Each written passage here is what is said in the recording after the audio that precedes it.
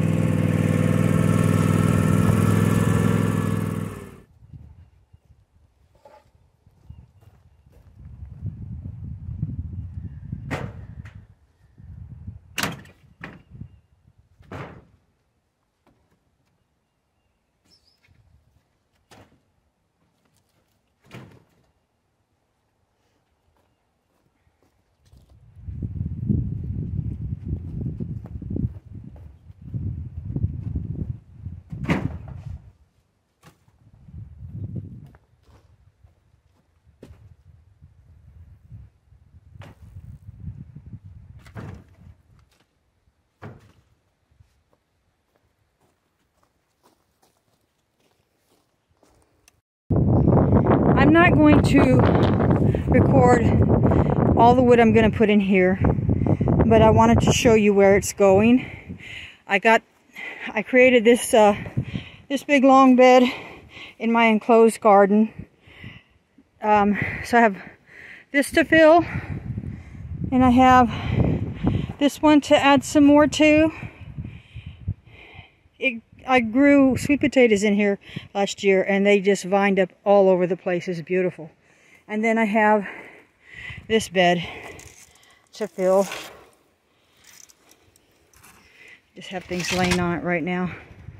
Um, I created this enclosed garden because I got tired of the crows eating my fruit, my uh, produce as it was growing on the vines and on the plants. So they can't get in here. This is from an old chicken coop yard and house and I just covered it and added more space to it. This spring I bought the mulch and it's over landscape fabric. Um, the goats know it's here, so they look through the fence and beg. I have still a lot of work to do, some greens growing. I like this a lot. I enjoy, I mean, I've got a lot of work to do, but I enjoy not having to fight the birds and um, the insects I still have to, but I can I can work with that. I have three blue containers, 50 gallon, for collecting rainwater. And right now I have some near my house, our main house, that I collect rainwater and I will bring it over here as I need to when we don't have rain. Um, frogs have been known to lay their eggs in this water and over by the house. They eat the mosquitoes that come in it. And I let them, I let them grow there and do their thing. But this is what I got going on over here. I have moved my garden several times. I had it in my berry garden, which is over there. I've had it in my orchard. And the soil is so hard to work with. And I get tired of the weeds. So this year, I'm moving it again. I set this up uh, a couple years ago. And I've been working on it gradually. I still have the front beds to finish filling.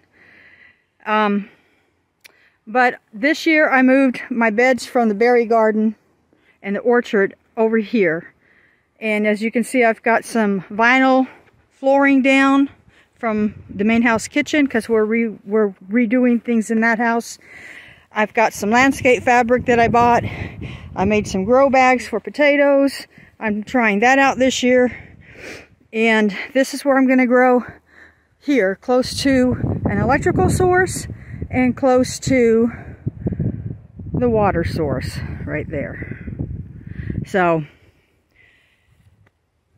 I may have to fence it in to keep the goats out if I let the goats out here to eat grass and weeds this summer. I don't know yet. Right now they can come out. There's nothing here for them to eat on except for maybe whatever's coming up in those front beds. But this is where I'm putting the wood. I'm going to go ahead and finish up the job in the goat yard because I need to get all of that. Uh, let me show you. To get all of this tree material out of the doe's goat yard. My son, my youngest son Steve came over yesterday and helped me. He did that pile and I had a bigger chainsaw and I started cutting down the trunks um, and the logs I'm hoping I might be able to move this long log here and one over here to where the goats hang out in front of our houses so the babies that are coming um, can play on them. I saw a picture of idea with the stumps and these long logs being attached to them so that the animals can play. And I like that idea. We'll see if I can get them out of here. But this is what I got to clean up. That's what I was starting today. We cut tree limbs or tree trunks yesterday, um, Monday. This is Tuesday. So there you go. I'm going to go ahead and get, get to work and when I show you this again, it'll be cleaned up.